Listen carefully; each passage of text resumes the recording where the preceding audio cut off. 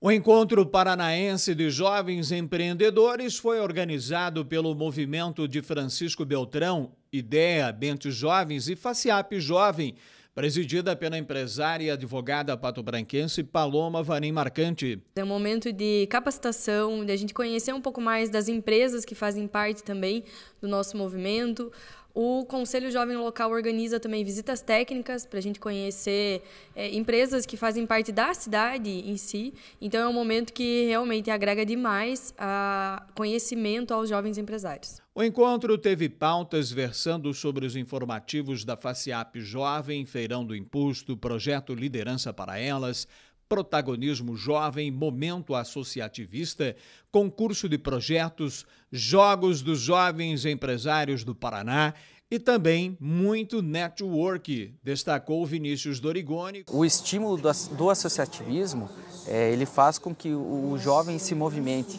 Né? Essa movimentação gera projetos que daí é, é, são é, prospectados e são pulverizados para a sociedade. E isso, o impacto social é tremendo.